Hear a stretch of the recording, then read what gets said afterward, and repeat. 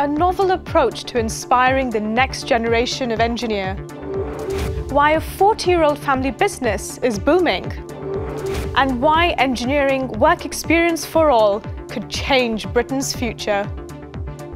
Hello and welcome to Engineering Around Us, a programme by the Institution of Engineering and Technology and ITN Productions. I'm Roma Agrawal.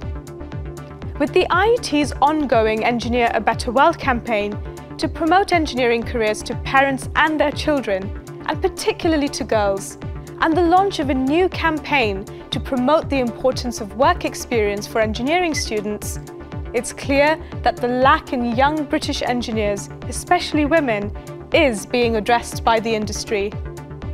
In this programme, we'll meet some of the innovators, from grassroots, through education, to the workplace, who are working around the country to keep the UK at the forefront of the engineering and technological world.